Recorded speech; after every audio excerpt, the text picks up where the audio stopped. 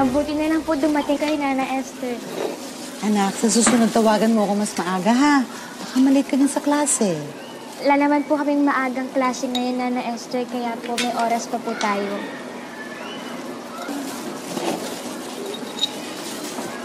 Mang na yun! Ano pong ginagawa niyo dito? Ah, naalala ko kasi sa garapon niyo ilalagay eh. So, kailangan ng plastic yan para hindi matapon. Nagdala na rin ako ng ah, heat gun. Baka may extension ka dyan. Salamat po. Kanina ko pa nga rin po yung naiisip eh. Ah, Nana Esther, si Mang Lian nga po pala. Sa kanya po ako kumukuha ng mga garapon. Magandang umaga ho. Magandang umaga din. Kunin ko lang po yung extension cord. Tuloy ko lang to ha. Sige, Opo kayo. tulungan ko na ho kayo mag-seal nitong mga bote. Ay, sige, salamat.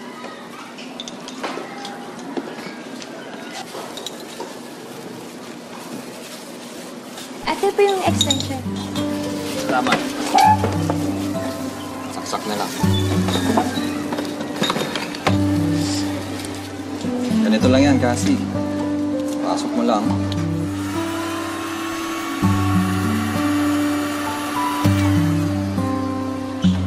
Ayan. Para hindi mapasukan ng dumi at saka hindi mabuksan. Subukan mo, kasi. Pwede po?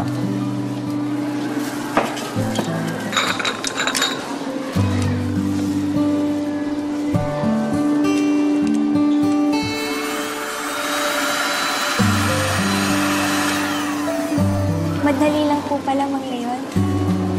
Oo naman. Sige.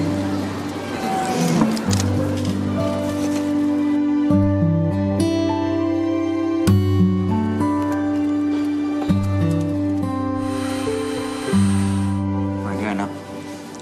Huwag mo sanang mamasamain kung pinaghigpitan kita. Kinabukasan mo lang naman iniisip ko eh. I know, Dad. Pero kilala mo naman ako eh. Kapag sinabi kong kaya ko, kaya ko. But thank you for allowing me. Basta huwag mong pababayaan maka-apekto yan sa pag-aaral mo, ha? Yes, Dad. And alam mo naman eh, I keep my promises.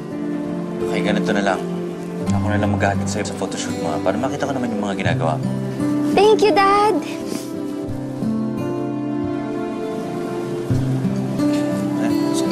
Dali, ah. Marga. Girls! Guess what? I have a new endorsement with Crystal. Wow, Marga, congrats. I'm so happy for you. Pero buti pinayagan ka ng parents mo.